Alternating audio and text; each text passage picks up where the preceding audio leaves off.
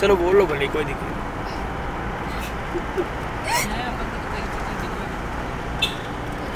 ये मम्मी को बोलना तो ज़रूरी है।